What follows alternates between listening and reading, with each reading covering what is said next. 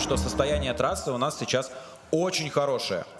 И было бы очень круто, если бы Сергей Савинов э, поставил бы свой Мерседес, э, пошел бы на э, выставку и забрал оттуда свою сову и разочек бы прокатился в рамках, скажем так, шоу заезда, потому что в Грозном, ты помнишь прекрасно, насколько э, круто прыгнул вверх э, по результатам э, Сергей Савинов и его сова. 7,3 просто за одну гонку они там, по-моему, почти секунду, ну полсекунды точно сняли, там, 6 десятых. А, 7,9, по-моему, лучшее время было для него до этого, а теперь 7,3. А, так, у нас э, заезд э, Теслы Model X, кстати говоря, только что произошел. И Василий... Два кроссовера, между прочим. Да, и Василий прилично на Амерон, Iron Apple, GTR R35, Stage 2, 700 плюс лошадиных сил.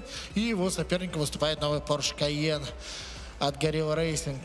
А, в данном случае гибридные турбины, настройка, спортивные катализаторы. Все это позволило получить с этого Каена мощность чуть менее 800 лошадиных сил, если быть точнее 780.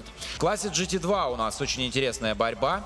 А, От 15,5 до 16,2 э, здесь э, результаты должны показывать участники. Ну, о классе GT2 расскажем после заезда. Стартуют автомобили. Ого, лучший Каен стартует, кстати говоря. А, причем, ну, за счет времени реакции, да и, в принципе, я так понимаю, старт там более качественный получился. А, ГТР э, не догоняет. Да, кстати, на удивление.